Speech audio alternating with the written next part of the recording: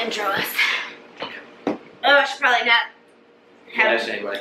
flash you guys on YouTube. Okay. Might help your ratings. My ratings, I get more subscribers.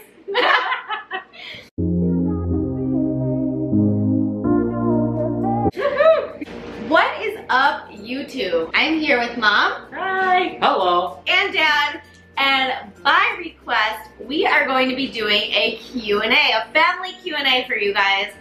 It is our last final day in Key West. If you guys have been watching my previous videos or perhaps you followed me on Instagram, you will know that I've been here all week with my mom and dad in Key West on a much, much needed vacation. It is our final day today. We just left sort of a later lunch slash dinner and I'm not gonna lie to you guys, I'm like two margaritas deep and Ooh. I can't hang like I used to. Like, so this Q&A is gonna be interesting. A bunch of you guys submitted some questions on my last video, and so we're gonna go ahead and answer them for you guys. Are you ready? Ready? Alright. Ready? No. Yeah. I get my personality from this one. You're gonna blame me? I am. It's all your fault. All right. First question, and this was asked by Hannah Osborne. You and your mom look so much alike. You guys are so cute. Thank you. Oh, thank you. Did you ever have a period of time when you weren't close with her?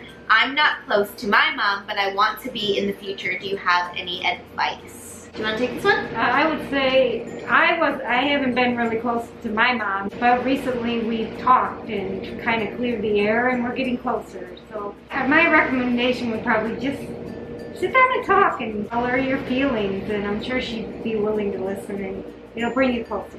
And I think like lots of mother and daughter relationships, her and I even went through a time when we weren't super, we were always close, but like that typical adolescent teenager and mom type relationship. I remember being like super sassy to my mom in high school. I knew it was just a stage. And yeah, she knew it was just a stage, and I look back on it now, and I'm like, oh my god, like I can't believe I acted that way. I actually remember calling her. I've apologized, obviously, like since high school, but I remember calling her like not too long ago, and something just like came over me, and I was on the stairmaster. I think I was like getting all feelsy because I was in prep, and I was like, I need to call my mom and tell her I love her. And so I called her, and I was like, Mom, I'm really sorry for the way that I treated you in high school. You are maybe somebody who struggles with your relationship with your parents. I think just getting it out there, just talking about how you feel, and regardless, like they're going to be willing to listen to you, right? Right, right, because they're your parents and they love you. Yeah, You know, it's just I think you just need to clear the air. totally. This is a question for me from Hannah, and it says, Did your mom get you into fitness? It's something that I always admired. You guys have probably seen in my videos, I've talked about in the last video how she's been working out for what, 35 35 years. I grew up like watching her work out and take her fitness like really seriously. So it was definitely something that I always saw. It was definitely a big motivation for me. And now every time I come home, I know I have a training partner and it's just like one of our little bonding activities. I love it too because I love the bonding time and I learned something new. I've been working out for 35 years, but I always learn something new from her. If you had been a boy, what would your name have been? Aaron Michael. Aaron Michael. I could have been an again. Aaron, but now I'm Caryn, so that's cool. Close. Close. What is one of the funniest things Caryn did as a child? Dad, you want to take this one? Oh, when she was in like grade school. We fed her to dinner. Me and Ma were both busy, and uh, something just didn't happen just right. And she said, "Oh shit!" She was probably seven years old, and when she said it, she started crying. and we were trying. We were crying laughing, but we couldn't let her see that. So we both kind of like ducked around the corner just to chuckle a second, and then say, "Don't say that." I don't remember that. Like I seriously Yeah, she's probably about seven or eight years old. You guys all know that you remember the time you said your first swear word. Uh, what is the best advice for the youth today on how to go about sharing their faith? Mom, do you want to take this one? I think that just to be uh, open about it, you know, and free about it. If it's something that's important to you, you should share it. Yeah, and that's with anything in life, whether it be faith, family, anything. Anything that's important to you. Obviously, if you have a passion for it, if it's something that makes you who you are, it's part of who you are, it's part of your heart, you should never feel ashamed of it. It's something that you should always be wanting to and willing to sh- express and share. Yeah, absolutely. Um, the Fitty wants to know, hey, is your family currently adopting? I'd like to volunteer. no. Although we probably wanted to a couple times when you were young. When she Right. young, maybe, but not now. We're old. Yeah. No. You guys have liked a lot of my friends, Oh, like yeah. over the Oh, yeah. years, Oh, and like yeah. have probably wanted to adopt them. Oh. We brought a lot of them with on vacation. Definitely. Oh yeah, that's one thing. Being an only child, I've always had the option of like bringing a friend on vacation. So that's Yeah. always We been even gave cool. her an option this time. Yeah, Amanda, what's up? You could have been here. Hi, Amanda. good one. This one I know a lot of you guys have asked, so I'm gonna like put it into one question. How did your parents react when you said you were going to do a bikini show? Were they supportive or not?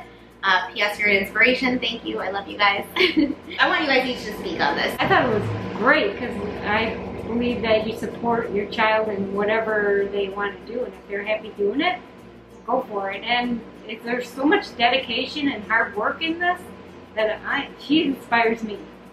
I love. I loved it. You worked so hard at everything that you've done as far as for with it. You're so passionate about it. And uh, we backed her so much that we bought her first suit. I know somebody else asked, I think this would probably be more of an answer from dad, knowing that I would be up there tiny little bikini. That's I think the one thing that makes parents maybe not so supportive of this sport is seeing you up there in very minimal clothing. So You can share with YouTube how you perceived that. It's it's going to one of them. You have to go to it. Yeah. You have to experience it. We've gone to everything that Caryn's been involved in. And and we grew with her growing in it. So as far as her going to it the first time, it was so important to her. yeah. We were there for her. And and then you see everybody that has such a passion as far as for physical fitness, making sure they look right. I mean it, it's very hard. I mean for a woman to go up there and be picked on as far as for judge. With a mindset that strong, you can go through everything in life. If you can if you can go through that, you get through a lot of stuff. They're the reason why I never quit. There's so many times where I don't place the way I want to place. In the moment, it's discouraging and it's defeating, but they keep me going. They keep me motivated. And if it wasn't for their support, I honestly would not be here talking to you guys on this platform today. So, love you guys. Love you too. It makes me cry. Amy Campbell, what's up, Amy? She says, have a wonderful time in Key West. And she says, how did your parents meet? I love hearing those stories. used to go to the health club. Do now once in a while, but uh, Okay. and she goes all the time. At the time, I was training for a marathon, which I did, completed, and uh, I met mom. She was on a with a stairmaster at the time. This this is how old we are. She dropped her Walkman. Remember the cassette? I I'm gonna I don't know if interject someone here because I guarantee that some of my subscribers were not even born in the era of Walkman. no, This is way know. before MP3s. iPods came out way later. what? But but she dropped her Walkman, and I was a gentleman and picked it up, and we started talking. Rest is history. Yeah. Yep, rest is history. Right, right. 26 years this year. Woohoo. Cheers to that. Where's your drink? Diet Coke. Your mom is so cool. More mom, please. They want more moms. That's not a question. I want more mom too. I want them to move to California. Oh my gosh, that's so funny because the next question is from Kimmy Hughes. Hi, Kimmy. She says, since you don't get to see each other so often, what is your favorite thing to do as a family, non-fitness related? Would either of you ever consider moving closer to one another? So what is our favorite thing to do as a family, non-fitness related? Eat. Eat. Yes, eat, eat. We don't Which we just got done doing. Would either of us consider moving? Would I move back to Chicago or would they move to California? I'm gonna say right now, I have no intentions on moving back to Chicago. I uh, obviously, when when I say I'm homesick, I don't necessarily miss Chicago. Like I miss them. For me right now, home is in Los Angeles. I love it. I'm thriving there as far as like from the inside out. They know I'm so happy. So right now, I don't see myself moving back to Chicago, but I pray every day that they will move closer to me. I guess you guys can answer that question. I would in a minute. um, Emily Funk asks, when I told you guys that I wanted to compete, were you guys involved in the fitness world at all, or were you totally shocked by everything that it, it entails? No, because we've always been considered a fit family. Even as older, you know, we, we enjoy our bike riding together. Um, we've always done activities as far as for outside physical activities. Um, no, so more so supportive. We never looked at it as a negative. It was always a positive. And if you want to make positives in life, you need to make positives. You know? Mindset. Right, it's all mindset. Yeah.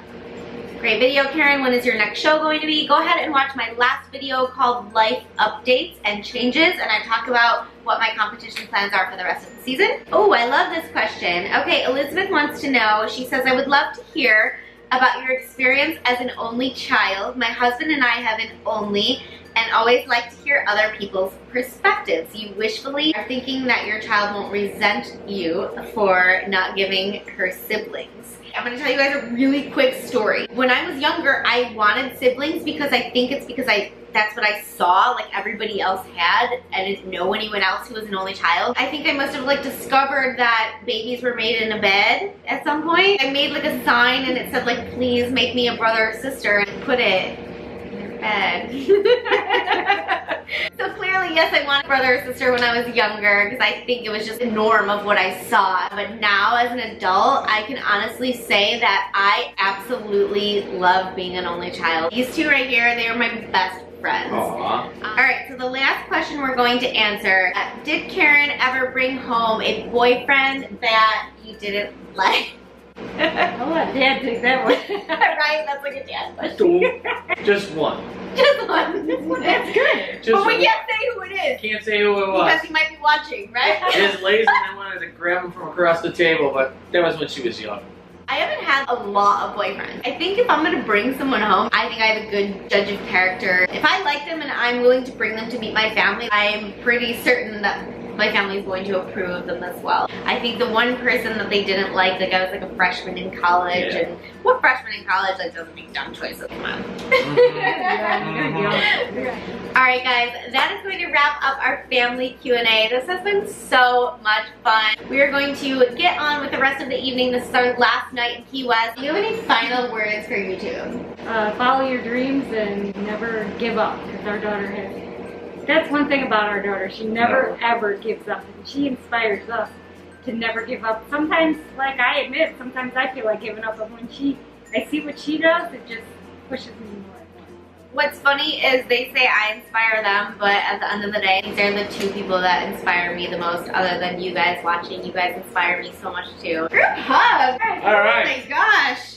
Thank you guys so much for your questions. Bye. Thank you guys so much for all of your kind words, your positivity, your support, everything. I hope that you guys enjoyed this video. Please remember to give it a thumbs up on your way out. You guys know that that helps me so much. If you guys want to see mom and dad in more videos, like when I go home and visit, when they come out to visit me, because obviously I'm apartment hunting right now. They're going to come see my new place. Yep. Make sure you comment below. Let me know. And as always, I love you guys. I appreciate you being here. And I will see y'all in the next video. Thank you.